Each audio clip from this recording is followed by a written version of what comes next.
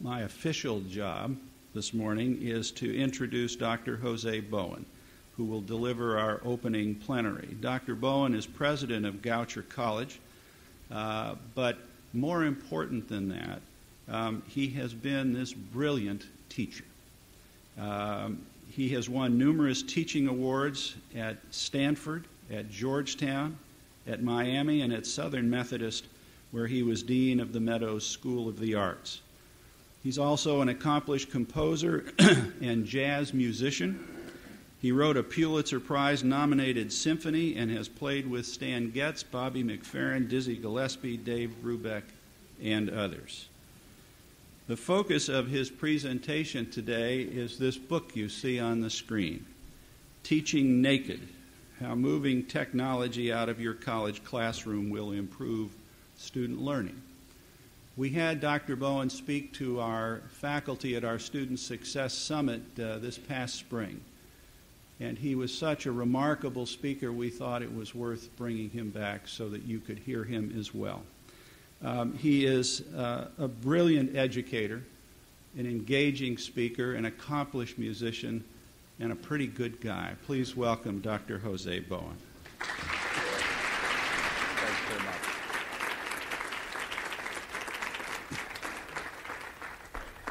Thanks very much for that generous introduction. Uh, so let me actually start right off with a factoid where we were just we were just talking. What do you think it's worth to go to college? What's it worth to your lifetime income? That's an easy. You should know this number. Your trustees. It's a million dollars.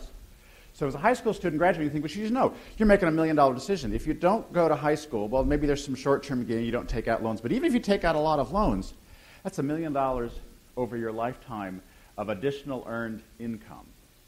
So if we were to send every student in the country or in your state to Harvard at full and pay for it, how long would it take to make that back in taxes?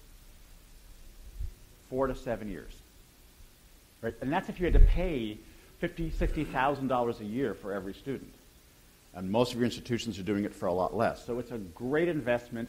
Not only does it pay itself back um, in decrease in services, but it actually pays itself back in taxes. If you want to know chapter and verse on this, uh, the Georgetown Center for Employment and Labor has a number of very, very good reports. That is the place that has the statistics on all of this. Um, and so um, when you're looking for ammunition, I urge you to go there. All right, so you can see on the screen some, some stuff, some signs, some ats, some hashtags. So if this is Greek to you, I need to explain this to you uh, because students today are pretty different than when we went to college. Remember the card catalog? Don't right? That, gone, right? The, the, the world today is a very, very different place. And so my job is to explain to you um, how different it is and what it means for you. Um, this is not what faculty are used to, right? If you want change, you go to Silicon Valley and you work for Google, where the culture is such that you go out of business a few times, eh, okay, you go work for somebody else. If, if your resume has no, doesn't say you worked for a company that went bankrupt, I don't really trust you. That's kind of the Silicon Valley mentality. You, not, you don't take enough risk. I, I wouldn't hire you. Right? But in the college, we're still dressing up like it's the 13th century. I mean, we still wear the funny hat. I mean, we're still offering the same degrees we were offering 100, 200, or 300 years ago. I mean, I have faculty who still remember the debate about the English major in 1900, whether we should have one, right? So all of a sudden, the pace of change is enormous. There are um, changing demographics. The populations you're going to have are going to be very different. Um, and the, the, the, types of degrees, you can't possibly keep up with new degrees. It takes four years, right, to get students through a new degree. For some faculty, it takes 30 years to think of the new degree, right, then to test it, make sure, right, because we're, we're used to having all the time in the world. So now we live in a totally different world, right? We've moved everybody to Silicon Valley and said, that iPhone 3, that was great. But you know, everybody else now has an iPhone 5 or 6. You're still using the iPhone 3. Nobody cares, right? The pace of change is faster, and that's a very different mindset and a very different sort of problem. So there are three things I want you to, to start with. The first is that um, the value of an educational, of, of, of a campus, is faculty interaction. We have mountains of evidence when we talk to students on campus, when we talk to students 40 years later. It's a great study from Harvard. What was the most important thing that happened in college 40 years ago? Nobody ever says classes. Nobody ever says courses. But they do talk about people. They talk about faculty. Professor so and so cared about my learning. Right? We now have this evidence from the Gallup poll, right? The Gallup Purdue Index. Another great way to understand the value of college. So Gallup has spent um, decades studying workplace satisfaction. It's a bit of a proxy for happiness.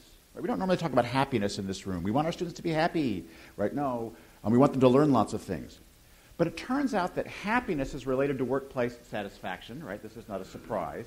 And that the single most important variable in workplace satisfaction is did someone in college believe in you? Did one person excite you about learning? Did one person make you believe that you could reach higher? So relationships really are the core of what's happening. And so you spend a lot of money on facilities to bring people together. A lot of money on faculty and student activities, parking lots, air conditioning. Right? It's expensive. It'd be a lot easier to have everybody sit home and do it on their phone. Right? But we bring people together partly because there is value in the relationships. But that's an important distinction. It's not because you're going to sit in class and take notes like many of us did. Right? It's because you're going to have somebody know your name and be able to talk to you and recognize you that actually has a lot more value than the content that's being delivered. So we don't drive to the campus to get more content. We drive to the campus to create community. And that seems a little paradoxical for an educational institution, but it turns out that's simply how it works. Second, technology is a tool, not a strategy. Remember, chalk is a technology. So if our strategy is going to be increase the amount of chalk on campus, right, that's not going to help. We have more chalk right? Your strategy is to increase student learning. That has to be at the core of your strategy. Increase student learning. Technology will probably be a part of that, but the real question is when, where, how to use technology. Technology is actually going to be very valuable. That's the thesis of this book, Teaching Naked, that technology is most valuable outside of the classroom. Connecting with students when they're at home, reminding them to do their homework, giving them something else to think about. When you get people together, what matters the most? You know the answer people right? Interactions. Um, so having fancy PowerPoints and whiteboards and all of that stuff is generally not the best investment. And finally, learning really is about change. The fundamental thing that goes on on a college campus is teaching people how to change their mind. It's not about stuffing them full of content, what I call the, the, the, the sausage model of higher education. Right? Come to me empty and I'll stuff you full of more content. Right? That, that was what many of us had to do, right? Because the situation was fundamentally different when we went to college. Because without, tech, without the technology we have today, our relationship to knowledge was different. We all grew up in a world that was knowledge scarce. Right? So if you wanted to know something, you had to go to this crazy thing called a library or look at the thing called the encyclopedia right? That was a fairly rare commodity, right? People sell, sold those things, right? Encyclopedia, look it up, right? Knowledge was scarce. So when you walked on a college campus, you had this feeling of, wow, there's more knowledge here. There are more libraries, there are people, there are smart people, there are laboratories, there are more books. No student will ever have that experience again. So I'm sorry if it was a great experience for you. No student will ever walk onto a college campus and go, wow, more knowledge because they all arrive on campus with more knowledge on their phone than in any college classroom, than in any library, right? We now live in a world that is knowledge rich, which is not always a good thing. Think about that third piece of cheesecake you shouldn't have had. Too much rich isn't always good right? So the world is now knowledge rich. It's also crowded with information. So all of that stuff on your phone. So you want lectures on, uh, on, on uh, molecular biology, you want lectures on, on Jane Austen, on quantum mechanics, from Stanford, from Harvard, free on your phone. You can get them now. You can get them up, and I'll show you how to get them up in 20 seconds on your phone, right? But that's not mostly what's on the internet, is it? You've got, in order to get to that lecture from Stanford about how to start your business, you've got to get through a sea of cat videos. Most of what's on the internet is cat videos. A quarter of all traffic is video. And it's mostly garbage. which means that the value of professing, think about this, I talk to faculty a lot, right? So, what's your title? Professor. Great. Guess what? The value of being a professor has dropped like a rock. Because guess who professes more and better than you do? Siri on your phone. She knows more than you do. She has access to more lectures. And they have a Nobel Prize. Do you have a Nobel Prize? Those guys, the greatest teachers, the greatest institutions, all those lectures, all that professing is now free. But at the same time, the value of critical thinking, of discernment, of analysis, of being able to tell, you know, that was a bad lecture. That's bad content. I disagree. That person's just lying. That's an opinion. That's not a judgment. Those are, these are facts, right? The ability to find facts in the ocean of opinion. Imagine if that was your graduation requirement, right? At the moment, what you do is you graduate people based upon butt time. Sorry. Right? How long they sat in the seat, 120 credit hours. You get a degree. So at the moment, time is constant and learning is variable. Right? We all so you graduate, you graduate, but you learned more than you did. So we just graduate you based upon how long you sat there. Suppose we had the opposite standard. Suppose we said that graduation depends on how much you've learned. It might take you a little bit longer, right? We know that people learn it. It might take you a little less time, right? But if we graduate people based upon intellectual standards or about learning outcomes, so we could actually say you can only graduate when you can hold two opposing opinions in your mind without making up your mind. Or you can only graduate if you can tell fact from opinion from judgment. Imagine if you could only hold political office if you had that test too. Never mind. Um, but, but, that's actually what's going on in college. And you're thinking, nah, he's, he's making this up. I say, so look, so a student posted this on my Facebook page for a, for a course that I have. Um, are you mad?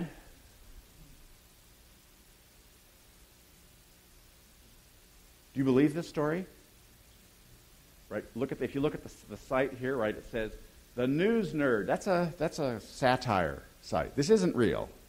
So don't, don't be mad, y'all. It's not real. This is just satire. So think about this Siri knows more than any professor on the planet and has no idea what satire is. Right? Has no way to tell fact from satire. So our students don't know this. So again, they've got this, we've handed them this amazing tool. Here's a tool, all the world's knowledge right here. The British Library, the Library of Congress, um, the Louvre, all of this stuff is in your pocket. But it only works if you know how to tell fact from satire. Right? And you're thinking, okay, but those are students. Adults don't get this wrong. Um, so this would be the police chief in Annapolis who put his hand on a Bible and testified before the legislature that 37 people were killed in Colorado on the first day of marijuana legalization. He testified for this with his hand on a Bible. His problem? He used this source. That's the Daily Currant. Is that how you spell current? Wrong kind of currents. Sorry. Um, and you think, well, but surely the CNN or the BBC, I, I can rely on news, the media. Sorry, I hope there are no journalists here. But, uh, right, but both of these stories turn out to be what's called user generated content. Neither one of these stories has any shred of truth. But they were reported on the BBC and CNN because somebody, one of you maybe, posted this story online and then they, they adopted it, right? This user generated content. We'll come back to that theme. Um, again, a lot of what's on the internet is from people who just, the, what's the barrier to, to publishing a book with Harvard University Press? Pretty steep, right? Not, not everybody gets to do that. So somebody is peer review vetting it. But the barrier to putting something on the internet? Zero. Any idiot can post in this, with this publisher. So that means where is the onus of figuring out what's fact and what's fiction? You, buyer beware. The internet is the quintessential buyer beware atmosphere. So what we've done is we've changed our relationship to knowledge quite radically. So let me give you another couple of examples. So if I'm a student and I'm thinking, you know, I'm enrolled in class, I'm paying money, you would think, well, you're paying money, you should go to class. How little you know, know students. Um, right? So what I do is I think, okay, I look at the syllabus. I, I tell faculty, what you should do is you should Google the items on your syllabus, because this is what a student does. They say, you know, it's cold outside, or it's, well, it's too hot outside, or, you know, I'm in bed with my laptop, because they are, right? They, if those of you who have children or grandchildren know, they sleep with their laptop, right? So you've got the laptop there in bed with you. And look, you could go to Yale in the bed. You don't have to get out of class and go to class. You could look, courses. Look at that. Oh, I was going to go to economics this morning. They have economics at Yale. Um, oh, look, they have Nobel Prize winners talking about economics. Oh, he's on YouTube. This doesn't take very long at all. Look at how fast this is, even with my slow hotel Wi-Fi. I mean, what, what, I don't have to do any. Look, there he is. Oh my God.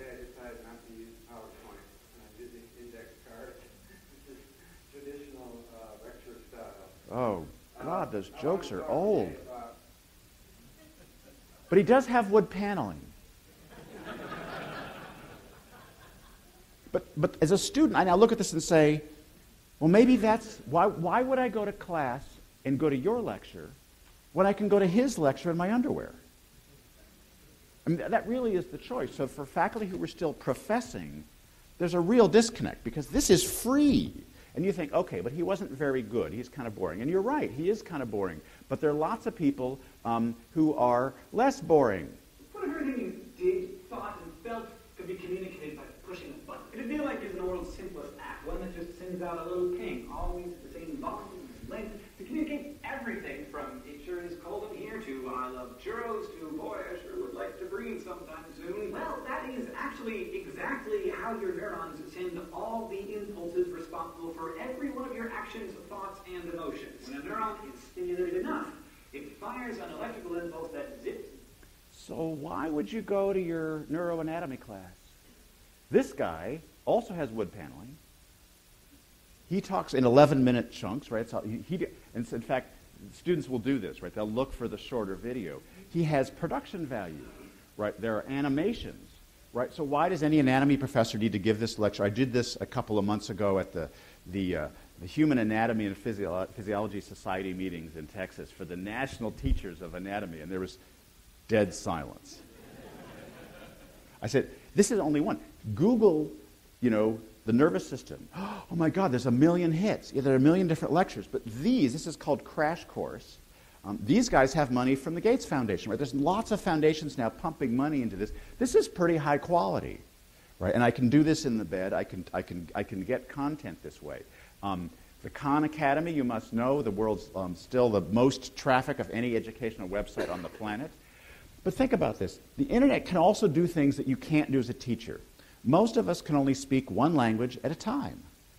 But your phone can speak lots of languages simultaneously, right? So this is a site called Universidad. You may have a few uh, students in the state who, whose first language is Spanish. I'm taking, in this case, a course on Hegel, um, and I'm having some trouble because Hegel's hard enough.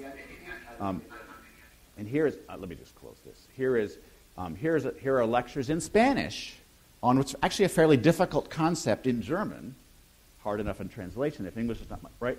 So the, the internet can be multivalent. I can learn things um, simultaneously.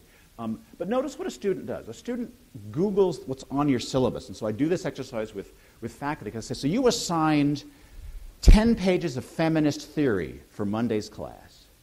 What's a student going to do, right? I know what you all did. All of you went to the library and you got the reading from behind the desk and you sat there and you highlighted. All of you did that, I know. So, um, but today, students do this, right? They might, and you see, well, there's feminist theory, but you know, that's not what I want because theory is a big word. So look at the next. Look, explain feminism. Explain. That's actually what I want. I don't want to, I don't want to read ten pages of reading. In fact, what I will do as a student is I will spend an hour looking for a three-minute video. rather than read 10 pages of reading.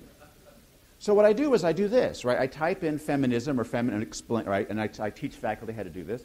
And I say, so you need to watch this, right? You need to know what happens when they type in. Hi, I'm a feminist. Oh no. Why? I want to get equal rights for women. You must be pleased with your success. No, Why not? the patriarchy. The patriarchy? It means men control everything, and we need feminists to fight more than ever. How can that be with women? So that's the first hit. Notice the number of views, 465,000 views. So what, what really should scare you, though, what I, again, this is the bit where I love, I love to blow people's mind. So you all recognize this as satire, I'm hoping. And by the way, you can, again, it's anime. You can do this as a, a site Xtranormal. You just type in the dialogue and you can add the hand gesture. So you can create these videos yourself actually very easily. So, but notice the comments, this, the people who are watching this actually don't understand. This is satire. They're arguing about it as if it was a factual presentation of feminism. Yeah, you shouldn't be laughing. You should be scared to death, right? Because what happens is students now arrive in class going, I got this. I got this. I watched the video, right? I didn't do the reading. Oh, yes, me, right? And then but they think they understand it. So my solution to this is to say, look, you know, you can't beat them, join them. So you should be assigning videos to your students so they watch them. I say, so everybody watch the Feminism Explained video before class on Tuesday. By the way, take out an index card and then write down three mistakes that she makes or that they make. What are, what are three things that are wrong? Critique what you see. Or um, what makes you think this is a fa- these things are facts? Um, um, how would you know if this was satire? Right? Ask them a question. Then when you bring that index card to class, by the way, you put your name on it. This is how I take attendance. Pass it to your neighbor. First thing that happens in class, pass it to your neighbor, turn it over, write a rebuttal. Read what your neighbor has written, and then you write, because what's really important is can you be critical about what you're seeing on the internet? Because the, the real truth is, we can't teach them what they need to know for jobs in 25 years. We probably can't teach them what they need to know for jobs in five years, right? Things are moving so fast, we don't know what information you're going to need in five years. So our primary job is not to stuff you full of information. It's to teach you how to learn on your own. Our job is to create voracious, self-regulated learners self-regulated learners, right? So people who can now find out new stuff. You do this all the time, right? You want to find out about something new, you go online, you figure it out, but you have critical minds to say this is good information, that's not so good information. But that's really the point of college. It changes way too fast. So when you think about your strategy, one strategy is let's try to anticipate the market. Let's give more petroleum engineering degrees. Because in May 2014, the degrees with the highest return on investment were petroleum engineering. Right? Actually, what was, the, what was the best, the most lucrative major to have at the end of the last cycle, at the end of 2014? It's petroleum engineering with a minor in Arabic. That was the best major you could pick if what you wanted to do was maximize revenue and return. Guess what happened in 2015? Not so much, right? It changes too fast. If, you're, if you've invested in petroleum engineering, you're stuck. But if you've invested in being a self-regulated learner, the, the job that you will need in 25 years, nobody in this room knows what that's going to be. In fact, they're going to change jobs dozens of times. The jobs they'll have in 25 years have not yet been invented. You can't possibly know what skills they're going to need, right? I mean, 25 years ago, we Facebook, Twitter, right? My daughter has a job as director of social media. What? What the heck is that? Right? 10 years ago, there was no social media, and now you're directing it? I mean, this is, this is, this has happened incredibly fast. So um, one more to show you just because they're fun. So if, if you put Charlemagne on your syllabus, you think I'm going to lecture about Charlemagne? No, you're not. They're going to do this. Right? This is the first hit from a history professor. Right? Here you go.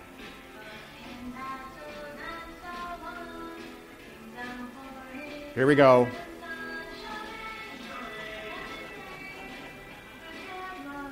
I'm, I'm, sorry if I've ruined that song for you forever. I'm sorry. Uh, uh, but but this is this is this is this is now where we live. Um, uh, one more. So there's, there's incredibly great content. So you think they'll come to my string theory lecture because where else could they learn about string theory?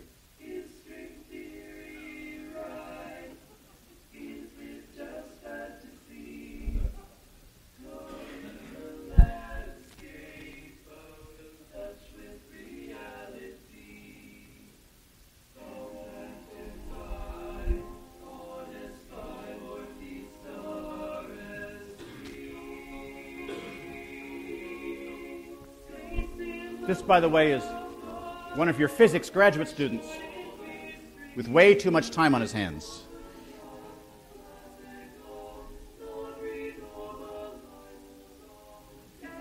Right, so there you go. So, so just, just look for a minute at this number in the bottom right corner. See that number? 2,600,000 views. This is why they're not in your physics course. All right, this is, this is actually where they are. Um, okay. So there's, there's, there's plenty of content out there. And the challenge now is not finding a lecture on quantum mechanics, it's finding a good one in the right language, at the right length, that you think is credible. And that's true of all information now. It's all there if you only know how to, to access it. So that's one change. Our relationship to knowledge has fundamentally changed. Students, why they're in co- college, why they're here, what they're hoping to gain, and what we should be trying to deliver to them. But there's a second equally profound change, and it's about social proximity. Right? Remember I said relationships really matter? They really matter on a college campus. We bring people together on purpose. But we've got to realize that the human brain and the human, human culture has radically changed since we were in college. Right? The meaning of friends will never be the same. And I don't mean to scare you, those of you who have daughters or granddaughters, but I'm going to talk about dating. Remember dating? Remember like boy meets girl, girl meets boy, right? So, so I'm a parent, so I have a daughter, post college, thank God. Um, but, but my daughter calls me from a bar. Actually, no, I'm sorry. She doesn't call me because why would they call me? She texts me from a bar. Of course she does. She texts me from a bar, and of course it's the dad, I'm with a friend. That's like the my friend has a rash. It's like, yeah, you're with a friend, right? I'm with my roommate, and we've met some boys. Right? This is what every parent wants to hear on a Saturday night. Hi, Dad, we're at a bar, we've met some boys. My, friend, my roommate is thinking about going home with one of them, right? Yeah, sure, the roommate. And so I'm thinking, well, what do I say in response to this? And of course, um, she says, It's okay, Dad. Um, let's see if this pops up. I've checked on Hula. They don't have STDs. It's okay. Hula, the site that helps you get laid, the good people of Hawaii objected to this title. It's now called Healthvana. Health, what? Healthvana? Yes, it's where you put your medical records for your STDs so you don't have to have those embarrassing questions. You can simply look up somebody and say, they don't have gonorrhea, they don't have AIDS, they, they're okay. So my daughter has already done this. She's 21 years old. She's at a bar. She's met some boys, and she's already checked and say, Dad, it's okay. Dad, it's okay? What are you talking about? It's okay. Right? But her idea of what's okay. Then, then before I can say it, she says, it's, and Dad, it's even better. Oh my God, it's even better. She says, they get good ratings on Lulu. So, how many of you know what Yelp is? You know what Yelp is? So, when you're going to go to a restaurant and you might say, the other people, where's the best steak restaurant in Lexington? You go to Yelp and you say, best steak restaurant, and you find out not what the critics thought, but what y'all thought. Right? And people just write, they randomly rate stuff. You know, everybody liked this place. This is Yelp for dating. Every boy in college in the state of Kentucky is on Lulu. It sucks the information out of Facebook. So you don't have a choice. If you're a boy in college, you don't have a choice. Facebook, your data has been taken from Facebook, and so your picture and your name appear in Lulu, which is an app for girls. And on this app, the girls can rate the boys, just like you would rate a restaurant or something else. And yes, it's remarkably explicit. Don't do this if you have a weak stomach. You could ask your children to help you, but they'll just be horrified. Um, in fact, I was, doing, I, was, I was doing this talk once to a group of faculty, and a student who was in the audience said, You know, actually, Lulu's like really high school. It's like, high school? Because it's very explicit about what the boy did and how well he did it, right? So, it's okay, Dad, my daughter texts me. The boy's got good ratings. It's not a restaurant. So then I'm, so I, of course, I'm trying to be the cool dad. So, honey, uh, what are they like? I text back. And she says, Dad, we haven't met them yet. We just said you were in a bar with some boy. I said, Yes, we're talking on Tinder. You should know about this one too, right? Tinder is a GPS app, so it allows me to see who's in the bar of the opposite sex. If you want the same sex, that's called Grindr, right? So it allows the girls, the, the girls to look and see, are there boys in the bar? And then have a conversation. Hi, how are you? So they're at the other end of the bar, literally. They're in the room together. And they've done all of this. They've had all of this conversation. They've checked each other out. They've looked at their profiles. And they've not had a face to face conversation yet. But they're thinking about sleeping together. Yeah, you should be very worried. This is considered normal. This is the new normal. So students now arrive on college, and I, so I, I, of course, say to my daughter at this point, I'm, you know, like, what do I say? I say, so I text back, honey, those are strangers. Right? Remember that conversation we had in first grade? Those are strangers. Those are the strangers. You don't know them. And she says, text back, no, Dad, it's safer this way. It means it's safer, rather than having a conversation with you, it's safer to do all of this, to figure out who you, so, so now let's talk about office hours. Think about office hours, right? Office hours, you're going to come to my office. I'm a stranger. Because since you don't, you're not a friend with me on Facebook, I really am a stranger, right? So somehow, if you're friends with me on Facebook, we're not strangers. We're friends, right? It seems trivial, but that nomenclature is key because it does. It is about the psyche of the 20-year-old, right? I met you online. Now we're friends. You want me to go to your office. You're a stranger. That's scary. So literally, going to your office is like the inner circle of hell for most students. It truly is. You have degrees I've never heard of. You have books. I'm allergic to books. They're all in your office. They're stacked up high. And you're in the basement. I was there on Tuesday. You weren't there. I don't understand. The internet is 24-7. Why aren't you in your office all the time? Right? It just it doesn't compute. So what I explained to faculty is that if you want to have better relationships with your students, you probably need to meet them online. Now, I don't mean on Tinder or Lulu. But having a course Facebook site, a website for the course, where you disseminate information, where you say, Hi, I'm here to help you. So, for example, one of the faculty do is they have office hours. That's great. You have an office hour in the morning on Monday, Wednesday, or Friday. That's useless, right? A, they're sleeping, and if they're not sleeping, they're working, right? You want to really help students? Be on Facebook from 10 to 11 the night before the exam the night before the paper is due, be on Facebook late at night, the night before it's due, and say, I'm here, you can chat with me. A, because the barrier to chat is low. I'll chat with anybody. Clearly, my daughter will chat with anybody, right? Um, having not mixed, so I don't feel afraid. That's, that's easy. That's safe. I can, so now I have a relationship with you because we've chatted. We chatted on Facebook. We have a relationship. Now I'll come to your office. I mean, look, that's perverse. Let's be honest.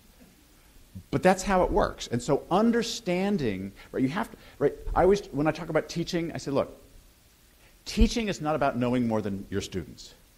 Teaching is not about what matters to you. Sorry. It's about finding out what matters to your students and then turning that into what matters to you. It doesn't start with what matters to you. Hi, I'm here, I know a lot of stuff, write it down. That's not how teaching works. Teaching starts with what matters to you. What do you want to be? What do you want to become? What matters to you? Oh, really? So we could, I, I, I, then I can pull you in. Right? So social proximity has radically changed. We have to rethink how we connect with students, how we create those relationships that we know are of value. Right? So relationship to knowledge has changed. Social proximity has changed. And there's a third major, major change. And this is one that's also kind of invisible to most of us who don't do this, because I don't play games in this in the video game world. But video games have changed the world. Students now arrive on your campus, on average, having spent more time playing video games than they have in school, assuming they have perfect attendance. Even with perfect attendance, they still spent more, 10,000 hours on average of video games for the, for the average freshman. Right? Video games are an interesting learning tool. They didn't, they didn't say, hey, we're going to create video games that are going to be great teaching tools. They said, we want to sell stuff. Right? But in order to sell stuff, they, they knew something very critical that faculty always struggle with. When you engage with something, the first thing you do is not, let's read the manual, let's read the textbook first. Well, the first thing I want to do is play. I want to actually start right now. I want to plug it in and I want to have fun. Right? I don't want to have to read the manual first. So video games adjust individually. They're customized to you, to you, to you. They, they immediately change. So if it's too hard, it gets easy. If it's too easy, it gets hard. It, you find a place where you can actually perform in the video game without having to read the manual.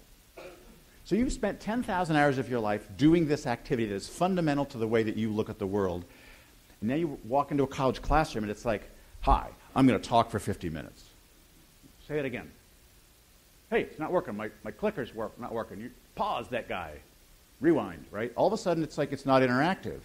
There's a person up here talking, and for most of you, when I taught when I do this for fact, I say, look, for a fact, you you like this. You're used to this. You know, you're the people who were so good at school you never left. And by the way, that's really weird. right? That's not normal. Normal people want to graduate and leave school. So faculty, by the very fact that they're still in here, they're still in school, means they're weird. So don't use yourself as a model for learning, right? Because you learned despite all the other problems. You loved school. You're weird, right? For most people, it's I want school to be more like a video game. Because video games turn out to be great, great teachers.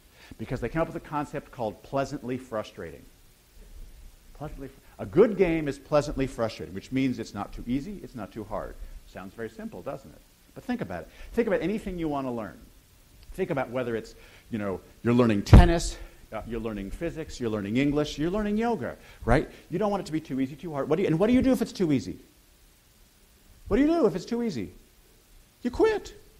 What if it's too hard? The rest of you are lying, right? Think about it. Hi, welcome to yoga.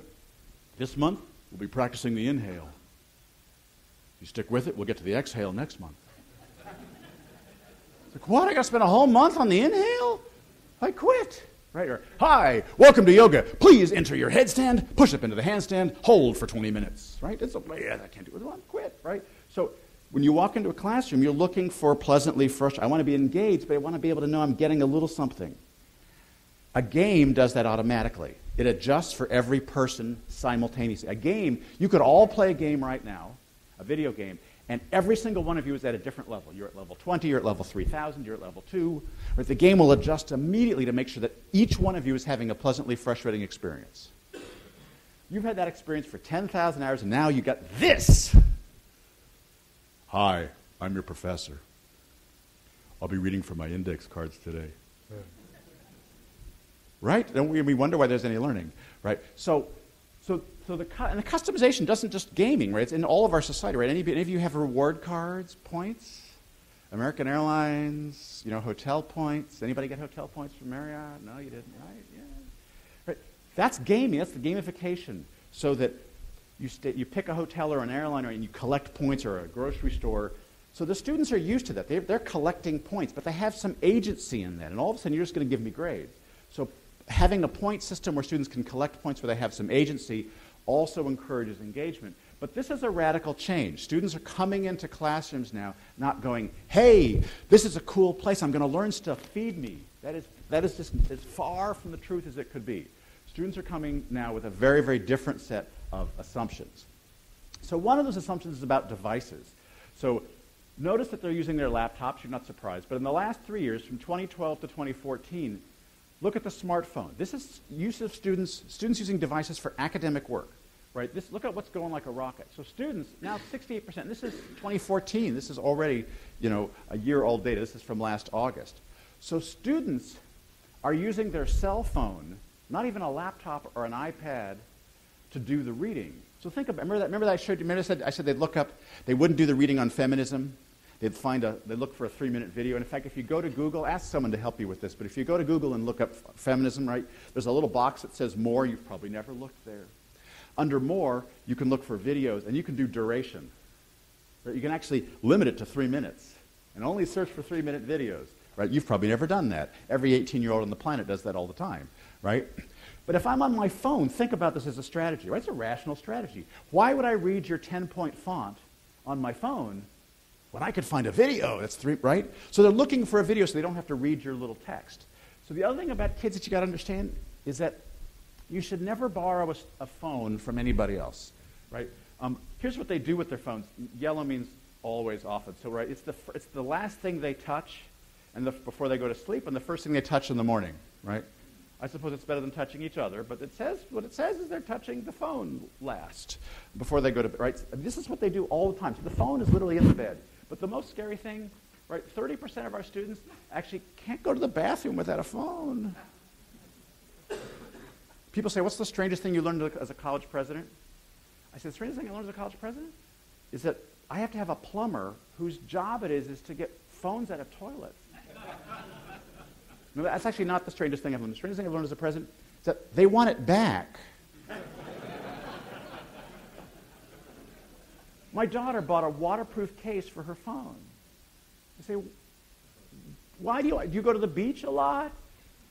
She's like, no, Dad, everybody has a waterproof case for, you know, when you drop it in the toilet. No, I, I, right. So again, sorry. The point of this is that, right, the world, it's a strange, strange world out there. But it is the world of our customers, of our students, of what we're trying to do. So understanding that world has become more important. and in the meantime, this is us, right? Now look, mean, this is beautiful. Look at this Buick. Look at this 1956 That's a beautiful car. And the problem is, is that it's 1970 now, and we're still a Buick, and Datsun, Toyota, and Honda have arrived. Now look at those little crappy boxes, right? No, are you worried about Datsun? Look at that. You're a Buick. Do you really think Datsun's got anything? Look at that thing. It's not. But it's 1970, right? So those are MOOCs. Those are on for pro- those are all the new products. At the moment, you could say, you know what? Online learning is never going to be as good. And that's what Detroit said. Those little cars are never going to be as good as our Buick. But what happened? Well, Datsun got better, right? Toyota got better. Lexus is a little bit more of a threat. Acura, right? Infiniti, we're not laughing so much anymore, are we? So MOOCs are three years old. Three years old. They're going to get better. Harvard and MIT have put $85 million into edX. Right? You should look at edX. Amazing courses you can take for free in lots of different languages from Harvard, from MIT, from Stanford. They put $85 million into that platform. Twitter was started with 5 million. So Harvard and MIT have brand, they have expertise, and they have money. And they are building a product that will give away content for free. They are going to be Lexus any day now. In fact, you could argue that they're already producing a superior product to many of our faculty who were standing up and lecturing and writing on the chalkboard. Right? You can get the old, and the lecture I showed you from Yale was not one of these edX things. Um, and it's every subject. So MOOCs are here, and my, res- my response is massively better classrooms. If we want to stay in business, if we want to serve the students of our state, we have to have massively better classrooms. We might need fewer, we might need less class time. We might talk about hybrids. But the, if I'm going to, if you're going to drive to campus, if you're going to spend money on gas and on parking, and you're going to do all of that effort to come into my classroom, this better be something pretty exciting. It better be something I can't get on my phone at home in the bed. Because I have access to lots of great content I showed you. I've got, there are songs. There are songs in multiple languages. There's content. There's all sorts of stuff. If I'm going to come to classroom, something amazing better happen here. So this is what I call the naked classroom. This is one of my rooms at SMU. Um, this, this was a 100-seat classroom set up in the business style, a bit like this with the fixed furniture right? Um, so I converted it, still 100 seats. I didn't lose a single seat. Um, but I took away the podium in the front.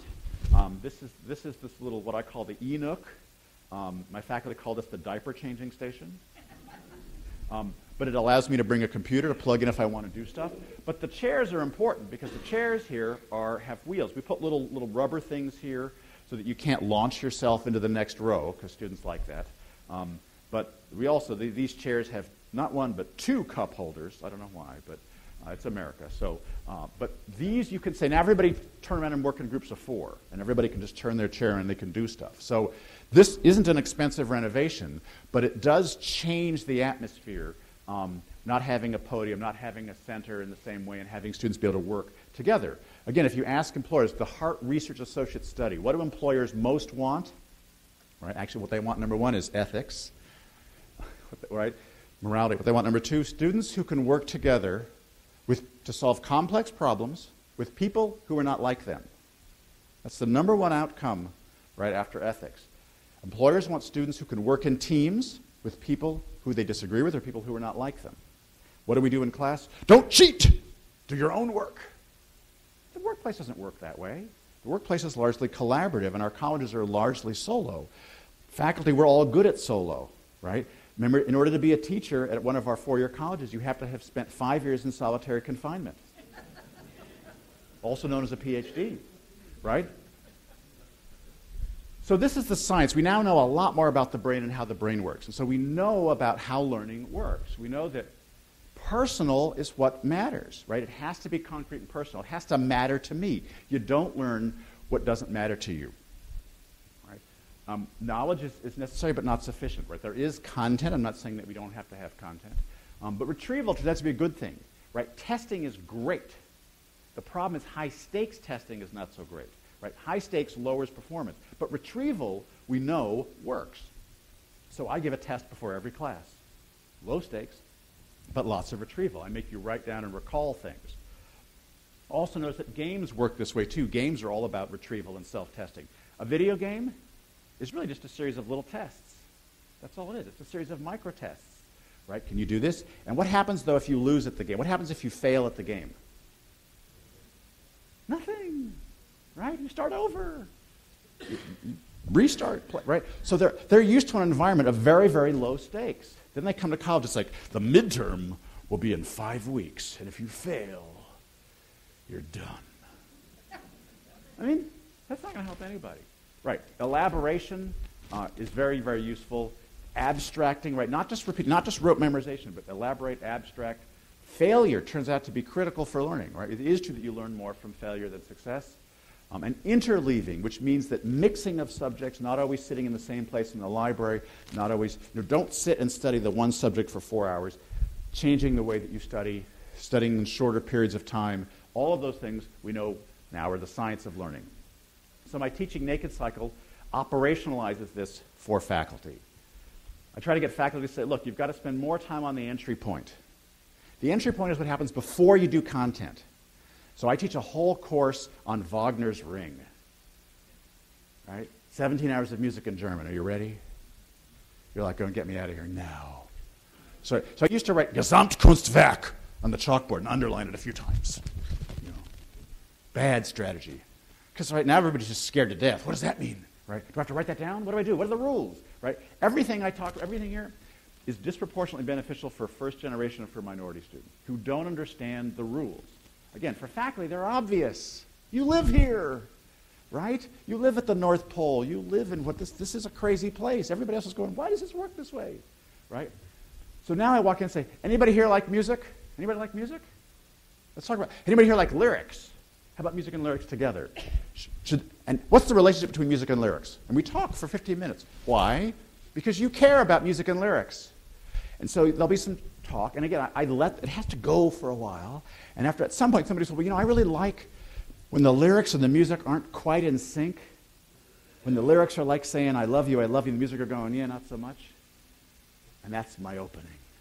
Well, you know, there's this dead white guy. And he had a really interesting theory about music and lyrics that the, the lyrics appeal to your head and the music to your heart, and that, those dis- that the, the, the, the, music was really speaking to what's actually going on, but the lyrics are what I have to say. What do you think about that? And we talk about, I don't mention the word Wagner, because that's scary, right? Teaching starts with what matters to your students, and it ends with what matters to you. So entry point, we never, we never teach anybody this. This is actually really important. It's the motivational piece. But then there's content, plenty of content online. You can read, you can watch. Then there's exam. I give an exam before every class. There's writing before every class, right? I want you to reflect and evaluate what you saw online, right? Was the, re- was the author of the chapter opinionated? Why? What was your favorite quote? What was useful? Then classroom is where we challenge. I add six, right? If self-regulation is the goal, I better do it in every class. And I have a whole wrap on, re- on e- communication, how to use Facebook and social media, which I won't go into today. Um, this is one of my exams. This is from the first day of class. So I, my recommendation is that you never pass out a syllabus, ever. Because the first thing to do is like, well, how many pages and how many, how many problem sets, right? The, the syllabus will be posted in an hour. Right? You can, you can read the syllabus in an hour online. Right now, I want to change your life. I want to demonstrate to you why this matters. The first day of class is disproportionately important. It's about motivation.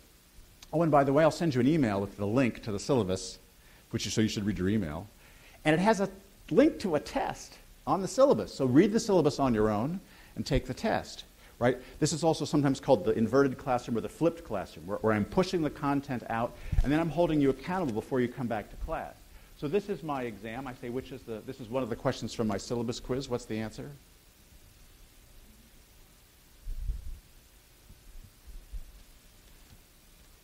Yes? Number, number one, number two? Number three? Yeah, well, number three is actually a learning course, a course outcome, right? Remember, learning is about change. I teach jazz history, right? The bridge is not going to fall down if you fail jazz history, right?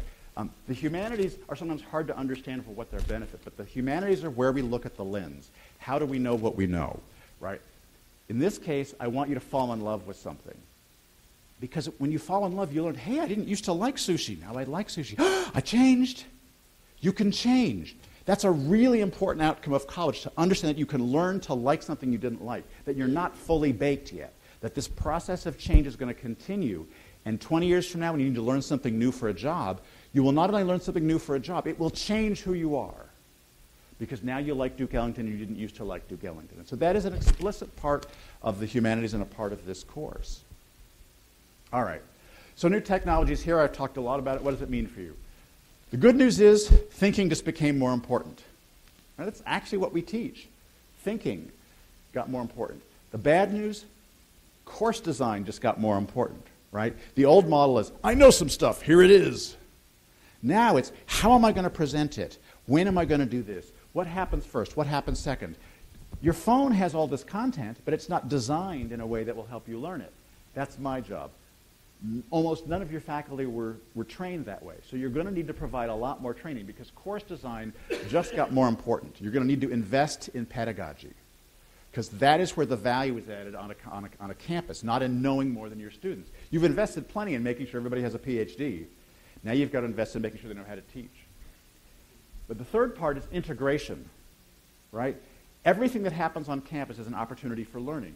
If you're going to spend money on it, you need to leverage it. So that means athletics matter. If you have athletics, that's a learning opportunity. If you have dormitories, that's a learning opportunity, right? I took that religious studies course. Eh, I learned a little bit. Having a Muslim roommate, learned a lot, right? Roommate selection, solving problems with your roommate actually was more important than anything I learned in college, right? So integrating of all of that. So it's not just the faculty. It's the learning that happens everywhere on campus. Learning also means you're going to, new technology means you're going to need more flexibility of faculty workload, of schedules. How, we're structured in a very old-fashioned way. Um, we may need to be in here all the way, all year long. We're going to have to encourage more risk. Risk is a part of our future. You can't have innovation without risk. Um, we're going to have to better evaluate. If learning really matters, well, how do I know if students are learning? Course evaluations are not that useful. We're going to have to have better ways of, of reviewing teaching. And we're going to need, again, integration. What that means campus wide is rubrics, learning outcomes, progression. Maybe you can't take the second year until you take the first year. Right? Again, it's part of this problem of the butt time and you hand the degree for the wrong part of the body. Think about this. The second year should be harder. The real point of college is not that you take more content, but that the second year is more complex. If the real goal, again, I think the goal of college is to increase the complexity of your mental model, that means every year has to be more complex. At the moment, we're set up for choice. We give you lots of choice because we're Americans and we like freedom of choice. So you can take the courses in any order you want. You can take history as a senior, take history as a freshman. Well, but no, the point is to have increasing complexity as we get through. So maybe I limit your choices for freshman year, but the second year choices are all more complex. And the subjects don't matter as much as the increasing pro- progression of complexity. So you've got lots of disruptions because of technology. So I'm asking you to focus on value. Uh, I talked about face-to-face a lot. Um, you have to think about what is the product, um, what is it you're actually selling. I think it's learning, but you know a lot of campuses sell experience or prestige. You know the spa, the best four years of your life. Um, but mission, being unique matters more. You can't all be the same thing. Every campus should do something different. Um, being true to who you are really matters. Um, I like, right? Nobody wants the same sandcastle over and over again. Um, so this is how I look at that process of creating value and finding focus, right? You have a product, you have curriculum, right? You want, I want you to, you want to integrate what happens on campus. This is what you do. Then you have a brand, which is what people know you for. And then you have to have data, right? I, actually, I, I recommend to you, I use the word assessment. With faculty, don't use the word assessment. It starts with ask. They don't like that. Um, but you are what you measure. You actually are what you measure. If you don't measure it, you don't know what's happening. But what makes this all work is student learning. That's the engine of what we're, that's really what we're trying to do, um, is, is to increase student learning, increase retention. All of those things revolve around what's unique on our campus and how do we know that we're delivering it. So I heard you talk about strategy. Strategy is great, but remember, it's the art of sacrifice. It's really about choices. It's less about the plan The plan bit's not as important. The, the important bit is what choice are you going to make? I, am a big fan of Roger Martin's at Harvard um, and the playing to win. Um, you're also going to spend the next five years, so once you have the plan, the plan is not going to be steady. Mostly what you're going to be doing is managing change, right? There's a lot of change. I cannot tell you in five years what majors you're going to need. So you could plan for that, but you don't know what you're going to need for majors in five years. So managing change largely means, again, don't use the language of assessment for faculty. They understand mission values. For all campus administrators, I say it's about positive cycles. Start with an early win, build this cycle onto your campus. Be data driven, but start the cycles if we're going to change. We're going to do this a lot because there is more change coming. Um, but creating a culture of risk, again, innovation and risk go together. And finally, being student focused, right? When you start with student focused, you've got a lot more of a chance of getting faculty on board because you all know that's the big problem, right? Um, faculty don't like change. That's why we became faculty. We didn't want to go out in the, in the mean real world. We want to stay here on campus. Right? We don't like change. If I wanted change, I'd go work for Google. And that's not what I wanted. So um, when you think about your online strategy, which I will guess will come up today, again, think about choices. Um, I would prescribe for you that you think always locally, right? What's called glocalization. Um, right? McDonald's is all over the world, but they serve the McCroissant in Paris, and they have McBagels in Israel, and they have other kinds of things, right? Um, that you tailor the product to where you are. You don't want to go up against Harvard and MIT. There's plenty of online competition out there, right? You don't need to reinvent the wheel. But hybrid seems to add a lot more value, right? The dropout rate is a lot lower because hybrid includes the face-to-face and the people. Um, now, hybrid is not enough of a strategy. Say, I want to increase hybrid. That's fine.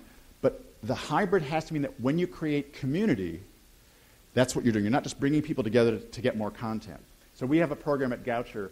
Um, we have a series of master's degrees, but they start with the on-campus part. People have to come to campus for two weeks. It's only two weeks in the summer, so they come from all over the country. They spend two weeks, and mostly what do they do for two weeks? They live together in the dorms. They make friends. Now they spend a year online, but they know each other. And so the online interactions work better because they started by creating a community, and then they, they can support each other through that online learning. Plenty of online tools, but the hybrid strategy is not enough. You've got to make sure you, you take advantage of all that. So I end here. Um, with this idea that, that what you're doing in education is really lighting the fire, that you are trying to create self-regulated learners, people who want to go out and learn more, but who have tools to do that. Our mission has changed. We no longer have to stuff them full of content. We really can refocus what we do, and that's going to be a massive, massive change for the way we're structured, for the people in the organizations, for everything we do but the good news, there's something here that faculty really love, right? Ultimately, when I say to faculty is your job is not to know more than your students. Your job is really to be an intellectual role model. Because when students are on the TV, they're not likely to see somebody who can change their mind. You're, the ultimate thing for a fact for a professor is to say, know, that's a great question. You may have changed my mind. Because that models for people, wow, that's, that's what it means to be smart because people are confused. They think their cell phone is smart. They do. They call it a smartphone. Right? But Siri, as we discovered, is not smart. So they believe that smart are people who know more things. That makes you smart. No, you're smart because you know how to change your mind. And where are you going to see that? You're going to see it from faculty, or you should see it from faculty who model for people what it means to be smart. You're the professor, you must be smart. So model, that means I know more. No, what that means is you may have changed my mind because that's what it means to be smart, is to be able to get new information and then change. Thank you very much.